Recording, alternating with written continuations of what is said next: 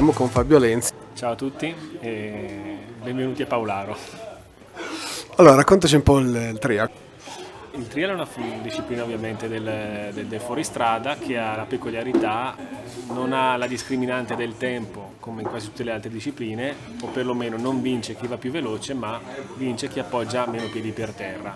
Piedi per terra che sono considerati eh, penalità quindi eh, tutte le volte che viene appoggiato un piede per terra per aiutarsi a superare un, un ostacolo, una difficoltà perché si, si perde equilibrio, il, il, giudice di zona che è una sorta di arbitro che è presente in tutti questi percorsi controllati eh, assegna, assegna, il punteggio. Quindi, eh, se si appoggia un piede è una penalità, se si appoggiano due piedi sono due penalità, se si appoggiano tre o più piedi sono tre penalità, se invece non si riesce a superare questa zona la penalizzazione è di 5 penalità che è la massima penalizzazione.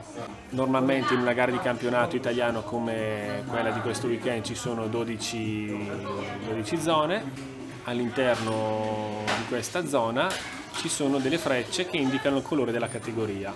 Nel campionato italiano abbiamo la Trial 1 che è la top class che deve seguire il percorso rosso, la Trial 2 che è la categoria inferiore che deve seguire il percorso blu, poi abbiamo la categoria dei TR3, TR3 125 che seguono il percorso verde.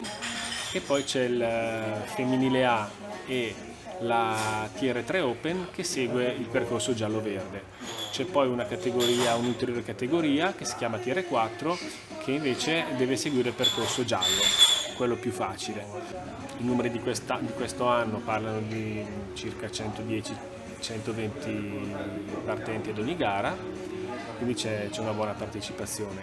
Riusciamo a offrire una, una gara un po' dedicata per tutti in, in particolar modo la categoria di Open e la categoria di accesso al campionato italiano è stata introdotta due anni fa. Ogni pilota ha un pettorale o un numero stampato sulla propria maglia con il colore del percorso che deve fare, questo per aiutare il giudice a, a capire a quale categoria appartiene. Che tipo di moto vengono utilizzate?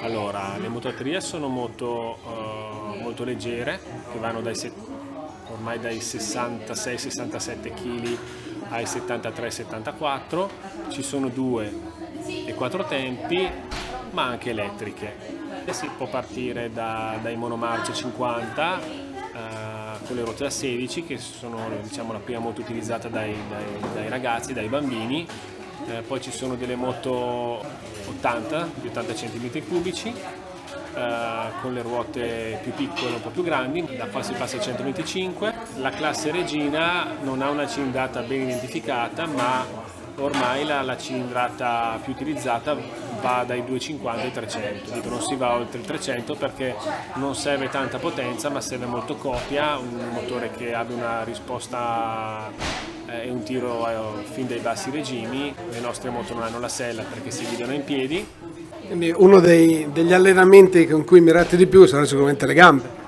Eh, è ovvio che se si nota normalmente tutti i trialisti hanno dei quadricipiti ben, ben sviluppati perché eh, quando si guida la moto comunque se non il 100% il 90-95% del, del corpo grava, grava sulle gambe. Come si va a saltare così in alto?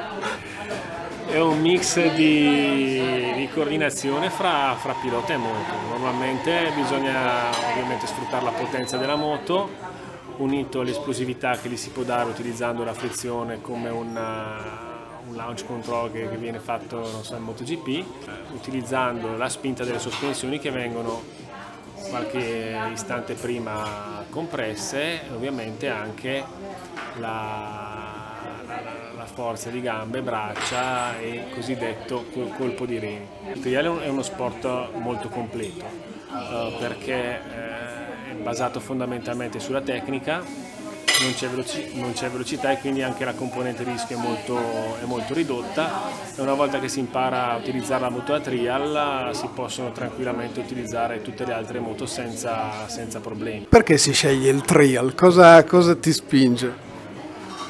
Allora, per tradizione il trial è uno sport che viene un po' tramandato in famiglia, quindi come nel mio caso, come nel caso di, della maggior parte dei piloti, eh, c'è un papà appassionato e quindi il figlio vedendo il papà praticare o vedendo la moto in garage si incuriosisce e, e decide di, di, praticare questo sport, molte volte anche indirizzato da, dal, dal padre stesso. Un ragazzo venendo una gara, capitandoci anche per caso, la possibilità di provare la moto, vedere la gara e questo speriamo che contribuisca a far nascere la passione e a portare nuovi praticanti alla nostra disciplina. Grazie a te e benvenuto nella tua prima gara di tria.